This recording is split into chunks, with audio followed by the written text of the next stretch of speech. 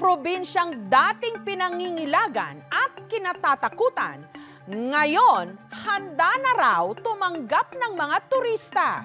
Ito ang Basilan. Sa mga gustong magdagat ngayong tag-araw, pero ang hanap beach na kakaunti ang tao, ang islang ito sa katimugang bahagi ng Mindanao ang para sa'yo. Presko ang hangin, pino at puting-puti ang buhangin. At sa linaw ng tubig,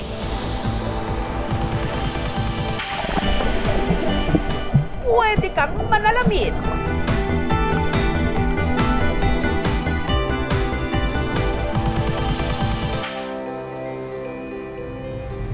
Ito ang Malamawi Island. Tumlakang ni Malamawi!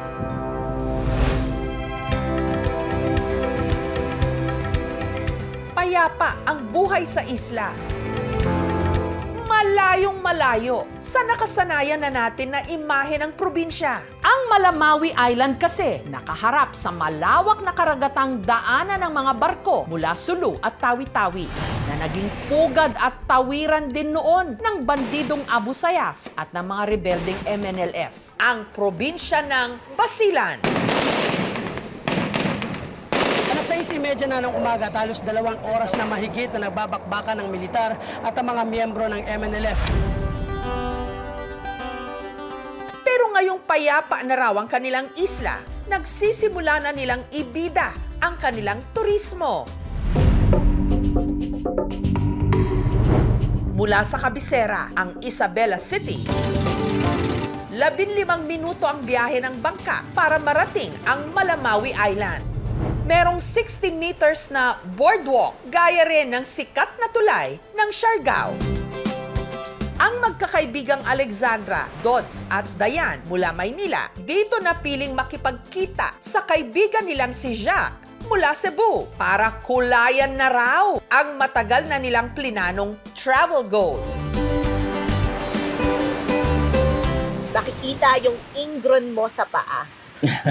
sa sobrang linaw at ang ganda ng buhangin. honestly, na-exceed yung expectation. Talaga nagulat ako, sabi ko, grabe, napakaganda pala dito. Meron po kaming Coast Guard na nag, naka-duty po dito. Matapos magtampisaw, one to sawa silang nagpakabusog sa malalaking alimango, mga lato o seaweed at pusit. The food, everything, relax. Sa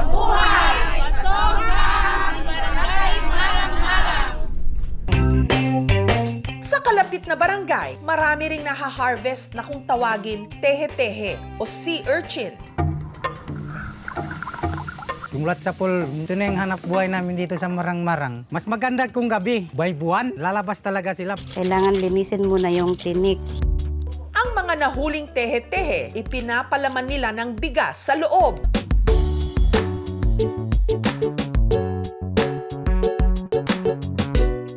Kung tawagin, oko-oko.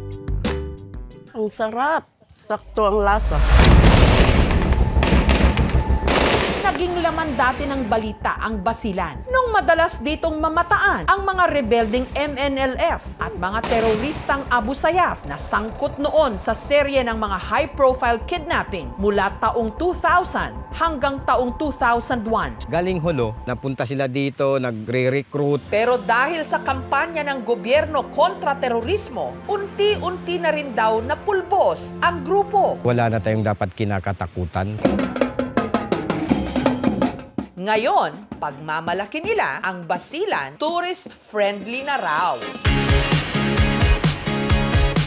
Ang tattoo artist mula Amerika na si Teha, aminadong nung una, nagdadalawang isip ng pumunta rito. It's really nice, very secluded, a, great view. Now that I've experienced it, I would definitely come back.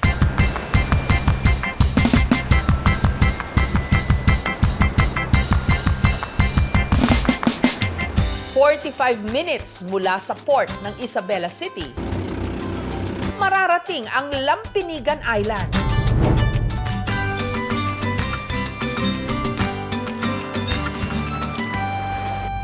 Pasongkan! Lampinigan Beach!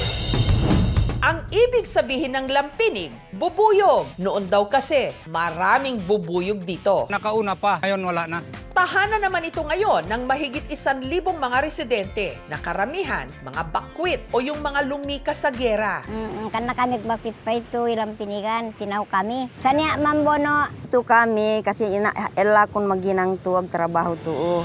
Sa pag-usbong daw ng turismo sa probinsya, nagkaroon sila ng regular na pagkakakitaan. Si Iray, gumagawa ng tepo o tradisyonal na banig. Si Sara naman, assistant cook sa mga nagluluto ng putahe para sa mga turista. Hindi lang karagatan ng basilan ng mayaman, pati na sa mga kabundukan ng basilan. Minahan din ang probinsya ng kung tawagin white gold. Kinukuha hindi sa kuweba o ilalim ng lupa, kundi sa mahigit 50,000 hectares na taniman ng rubber tree. Ang balat ng puno, kinakayod nila. Hanggang lumabas ang puti nitong dagta. As a nature, makita talaga natin kung gaano kaganda ang mga puno ng mga rubber. Nakalinya-linya talaga siya.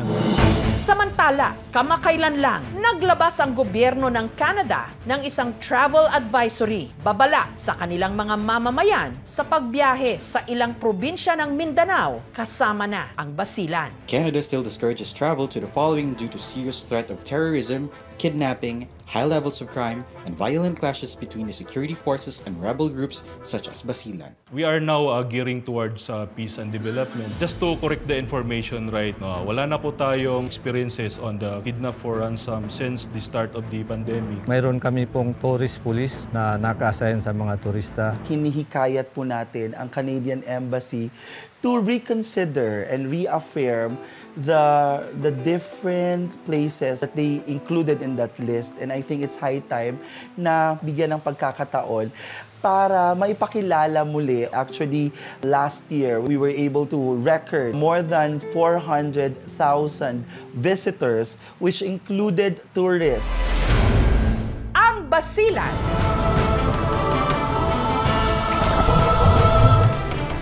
parang pangako na sa pag-usbong ng kapayapaan sa kanilang probinsya, tuluyan na ngang mawawala ang terorismo para lalo pang makilala ang kagandahan nito at potensyal sa turismo.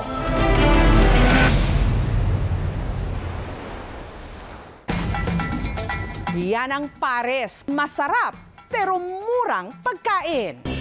Nito lang Enero, itinampok natin ang kwento ni Diwata na naging kontrobersyal sa kinasangkutan niyang dating gulo. Bakit kayo sa kulungan kasi mga kriminal kayo? Tingnan mo ginawa mo sa akin. Ang ganda-ganda na mukha ko, sinira mo. Pero nag-comeback sa pamagitan ng kanyang negosyo na pares. Welcome to Diwata Paris Overload. At mula noon, tila umubra ang mahika ni Diwata sa publiko. Nagpalipat-lipat man ang pwesto, ang kanyang paresan patuloy na dinarayo. Pang ilang kaldero na yan ngayong araw? Pang siyam na to, no? Hanggang ang kanyang paresan sa Pasay naging food trip destination. Ang ilan ka, sir? 263. Sa sobrang lakas nga raw ng negosyo ni Diwata, pati nasa tapat niyang paresan ni Juliet na hata at pareho na rin ngayong pinipilahan. Ang Encanto Pares Overload. Nasa ilalim ka ng puno ng mangga tapos may musok-usok. Encanto na lang para mas maganda. Ang nagpapa-espesyal daw sa pares ni Juliet, ang ginagamit niyang batok ng baboy, kanya munang iniihaw. Mostly kasi naririnig ko puro fry. Kaya sabi ko, less cholesterol naman tayo. Ang kanilang pares with chicharong bulaklak, unli rice, at soft drinks sa halagang 100 pesos kada serving. Hindi siya kagaya ng iba na piniprito-prito lang. Dating DH o domestic helper sa Kuwait si Juliet, kalaunan umuwi ng Pilipinas. Taong 2015 nung nagtayo siya ng paresan. Yun nga lang, wala siyang permit. Pag na-clearing, wala po kami magawa. Lahat ng maabutan nilang gamit namin, matatangay. Hanggang nakatapat na nga niya ang paresan ni Diwata. At kumbaga sa pelikula, nung una, nilampaso siya. Dumating sa point na kami ng tao ko, kaya ano ko, kakain tayo sa harap para pag may nakakita ng mga dadaan, tumirma, engganyo sila. Pero dahil box office hit ang paresan ni Diwata, may ibang nainip na sa pila. Ang katwiran ng mga tumatawid sa akin, sa sobrang haba ng pila, hindi na makapaghintay. Kung ano yung mapupunta sa akin sa dulo ng pila niya, accept ko. Hanggang isang araw, may food vlogger na naligaw sa pwesto ni Juliet. Sabihin man po nila, nakakompetensya daw kami ni Diwata. Okay, wala problema sa amin. Asa ang sa akin po, hindi ka kompetensya ang tawag ko po doon. After namin kumain kay Diwata, nakita po kasi namin na walang kumakain. So yun, tumalong po kami dun sa aisle. Pagtanong namin, same price, 100 pesos. At laking gulat niya nung ang kanyang paresan na dati dinadaan-daanan lang, dinudumog na rin ngayon ng tao. Uy, ang dami na kumakain. Oh, ah, hala, nakakatuwa. Hindi ko na-expect na magbo-boom yung tindahan ko. Mula sa 6,000 pesos nilang kita kada gabi, ngayon, sa 12 oras nilang pagtitinda, kumikita na sila ng hanggang 100,000 pesos! Sinisika po na po talaga mag-ipon ngayon dahil naranasan ko na nga po yung mag-zero-zero. Hindi ko na magagawang iwanan yung mga anak ko para lang mag-abroad ulit ako. Ang paresan namang ito sa Quezon City, araw man o gabi, blockbuster. Sa halagang 120 pesos kasi, meron ka ng classic pares, unli rice, unli sabaw, soft drinks, at itlog. Busog! At sa mga nakakaluwag-luwag sa budget, must try din daw ang kanilang pares na hindi tinipid sa sahog. May braised beef, bone marrow, chicharong bulaklak, bagnet, unli rice at sabaw, panula at itlog for 250 pesos. Hanggang tatlong tao na ang mabubusog sa kanilang pares overload. Negosyo ito ng magbayaw na Keith at Jude. Mahilig kami kumain ng pares. Gabi-gabi po, nagpapares kami. Dumadayo po kami. Saan po may mga trending. Kada araw, mahigit isan libong tao raw ang dumarayo sa kanila. Kaya binabalikan kasi nga ah, mura. Pero kung tahimik ang pila sa labas dahil gutom na ang mga naghihintay, sa kanilang kusina parang may gyera kung saan non-stop na iniluluto ang nasa 800 kilos hanggang isang toneladang karne. Mainit. Teka lang po talaga. Si Keith, dating kusinero sa Italy, kung saan din siya nag-aral ng culinary. Si Jude naman, mekaniko. Dito ka, tabi ka kay Pogi. Kaya nitong nakaraang taon, nagdesisyon silang mag-food cart. Naging illegal vendor. Pagkadating po namin sa pwestuhan po namin, eh, may mga nakaabang na pong magpapalis sa amin.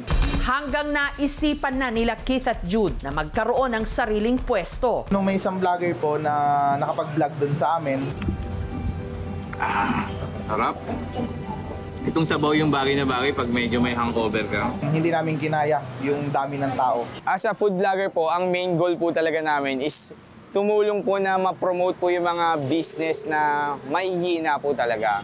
Kung noon, ang kita nila kada araw, 1 to 2,000 pesos, ngayon, umaabot na raw ng hanggang 6 digits kada araw.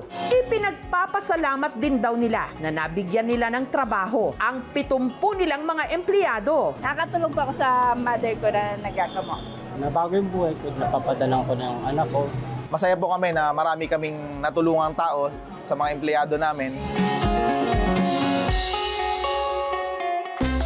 Mga pares na alam natin ngayon, masabaw. Pero alam nyo bang ang sinasabing original nitong timpla? Yung masarsa at may balanse ng alat at tamis ang sauce. Sa panahon pa lamang ng mga Espanyol sa atin, eh meron ng mga mga ngalakal na Chino na nagtitinda nito. Ipinapares na ito sa isang mami bilang bahagi ng pagkain na kanilang inilalako, sa lalo na doon sa mga labas ng simbahan. Ang kainang ito sa La Loma, Quezon City, negosyo ng mag-asawang Lolita at Roger Chu. Siopaw, roasted chicken at beef mami raw talaga ang kanilang mga produkto noon. Pero dahil madalas daw i-request ng kanilang customer na ternuhan ng beef mami ng kanin, tinawag itong pares. Nag-start siya dito sa mismong pwestong to, pero maliit lang siya. So, mga 6-seater lang siya.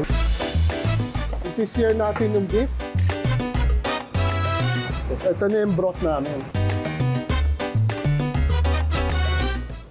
At doon na nga ipinanganak ang pangalan ng pagkaing naging comfort food ng maraming Pinoy. Beef stew na kalaunan pinaresan ng sinangag. Hindi yung masyadong mataba. Yung sabaw namin, enough na siya, yung broth lang mismo. So hindi na siya kailangan lagyan ng added na additives. Dahil primera klase raw ang karne, 240 pesos kada order. Malaman, malambot, masarap. Hindi siya ganun katamis, hindi rin siya ganun kaalat. Pinasikat ng Jonas House ang Paris meal noong 1980s. Maraming nagsasabing sila yung pwedeng original. If you trace back kasi sa history, we have withstand 44 years na. Pero katulad ng lagi po naming ipinapayo sa inyo, patokmang pagkain ngayon ng pares. Hinay-hinay lang po tayo sa pagkain ng pares, lalo na yung mga mataas sa fat at cholesterol dahil nakakadagdag po ito sa mga health risks na dinadanas natin. Sa dami na ng yumaman at bagong umasenso dahil sa pares, hindi lang ito tubong lugaw, tubong pares. Thank you so much mga kapuso. Kung nagustuhan niyo po ang videong ito, subscribe na sa GMA Public Affairs YouTube channel. Don't forget to hit the bell button for our latest updates.